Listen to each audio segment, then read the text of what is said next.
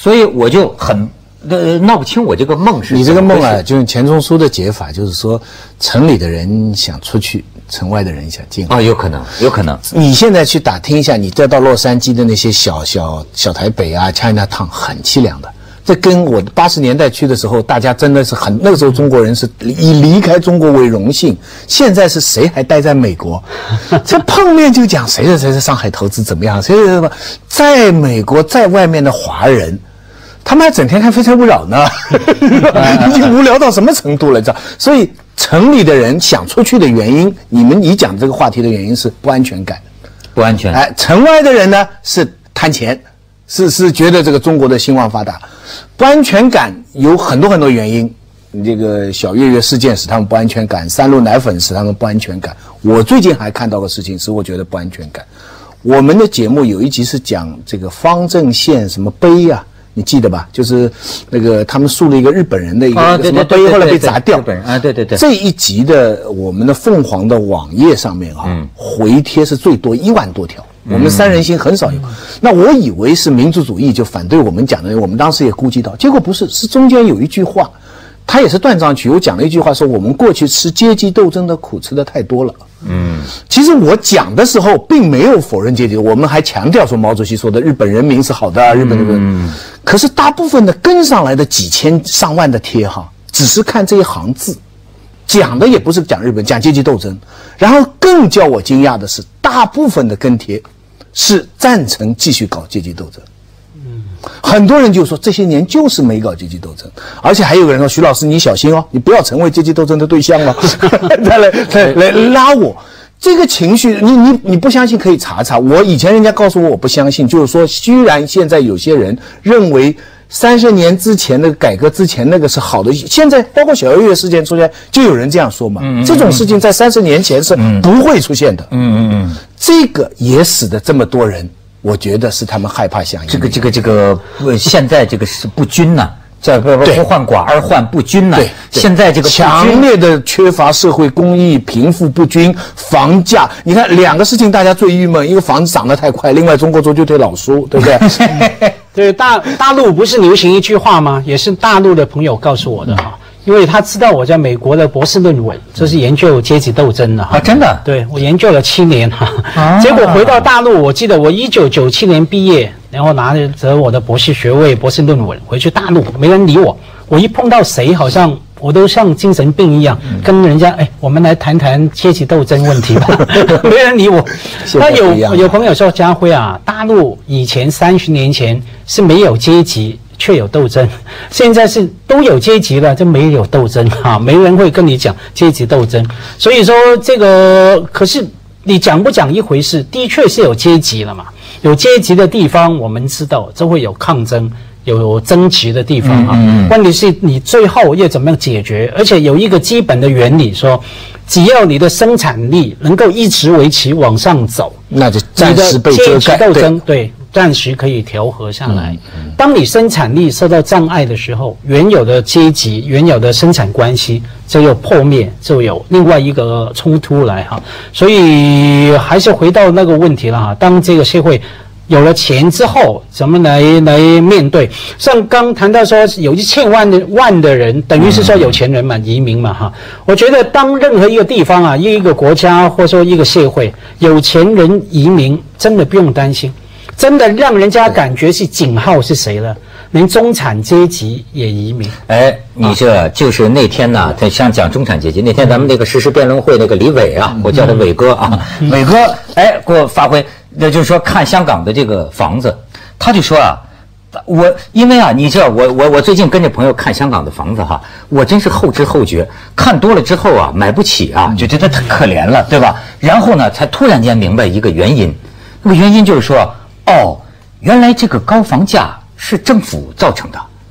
你明白吗？我我呃，今天这昨天我陡然醒过来，我说其实它增大供应，它盖到处盖，就不就跌跌跌跌谁想盖谁就垮台。对对，但是问题是一跌了就完蛋了，对因为这么多人都负资产。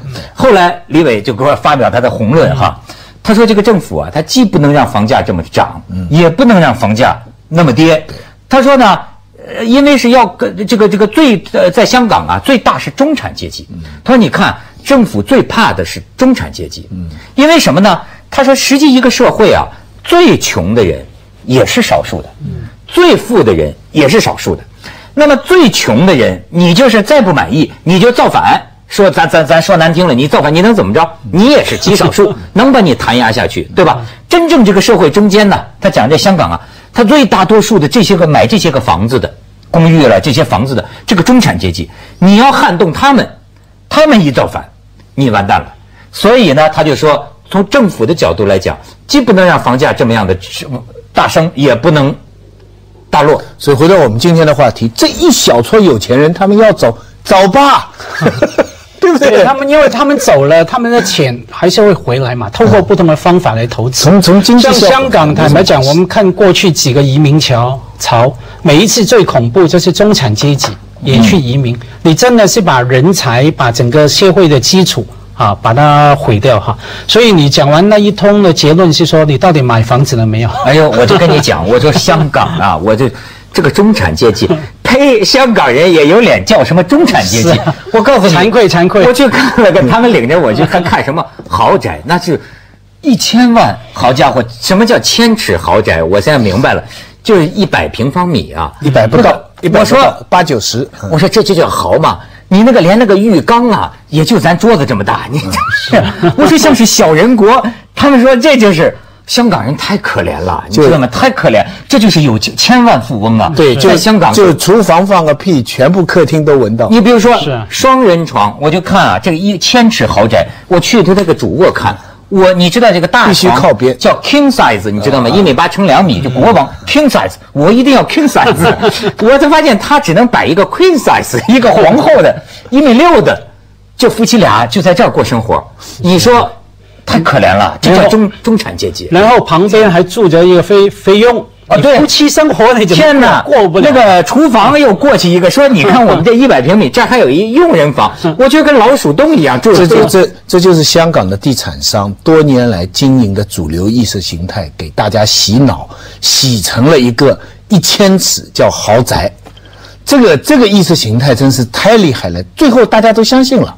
哎，我不相信也没办法，重点在于说文涛啊，香港的中产阶级啊，坦白讲，他不怕啊买贵了楼，因为香港很多发展经济的机会嘛哈。现在中产阶级的愤怒是买了笨的楼。怎么说呢？你就是你付钱一千尺的啊，一百平米的房子，其实你买回来的是六十平米了，其他四十平米它计算在其他地方，楼梯、所谓的公共用地等等，然后用的材料是非常差的哈。那个你说那个浴缸啊，比这个桌子还小的，它的材料比这个桌子还差了。还薄是吧？对，那个买笨楼才是愤怒的地方。哎呀，这是香港中产，锵锵三人行，广告之后见。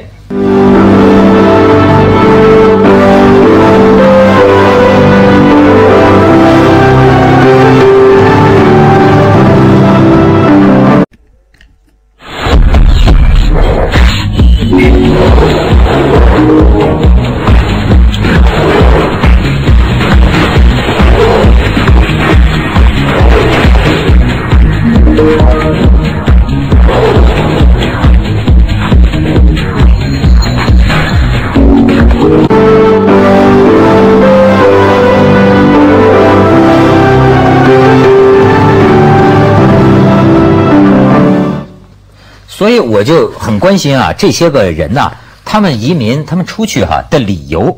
你像有个小吕，一女的说，呃，我我去美国的想法，说起来挺老套，就是自由和公平。她说，你看啊，她对自由的想法是什么？她说，自由啊，就是在这儿啊，不管你有什么样的想法，你选择什么样的人生，都可以得到理解。比如说，我要是一辈子不结婚，在美国面临的压力就比国内小。在美国，你愿意单身不结婚，甚至你愿意跟同性结婚，都是你自己的事情。但是你要是跟两个女的在一起，你受到的压力就要比中国大得哎多。，他说，但是在国内呢，你要说你不结婚，几乎所有的中年妇女都要给你施加压力，像个邪教。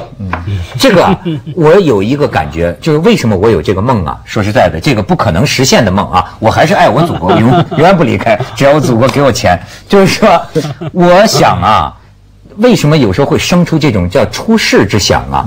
对我来说啊，可能是在人多的地方生活太久了。这是个多么拥挤的国家，世界上最多的人口，这倒是你知道吗？我只是觉得啊，我有时候觉得我已经四十多岁了。我之所以老想到外国去，我想到个人少的地方去，因为我四十多年，佳慧不像你们，你们在外边生活过 十几年，我一直就跟我们中国人民挤在一起。你就去吧，去一下吧。因为我挤啊，甚至比如说挤到一个凤凰卫视，你都觉得主持人太多了，公司的工资也很有限，整天争啊，这个连棚的时间也要争，争啊争啊争啊，你就是你知道？你生活在一个什么都拥挤的地方，你慢慢的你就会想，我有一个梦，嗯，其实倒不见得是去外国，而是说离开这个拥挤的地方。问题是离开多久？你令我想起很多朋友啊，超过十个，也是说哇，我要离开离开，可是里面有八成啊。明明移民了，然后半年后就接到了他们电话，啊，家辉，我在香港受不了了，太闷了，是是是是在那边好像废物一样坐在那边，唐人街，好山好水好无聊。哎，真的真的是好山好水好无聊。中国呢，现在给我们一个非常矛盾的两个东西。理性上，我们都知道，如果中国从第二经济体走向第一经济体，就像你说，这个是我们盼望多少年，我们生逢在这个时间，大家都觉得很光荣。但是，你要是在北京的四环、五环下午五点钟开车的话你就不知道中国的前途在哪里。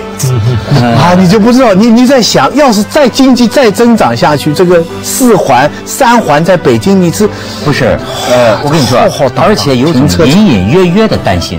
接着下来为您播出《香港珍宝总动员应》。该是比大陆的房子啊，将来的价钱。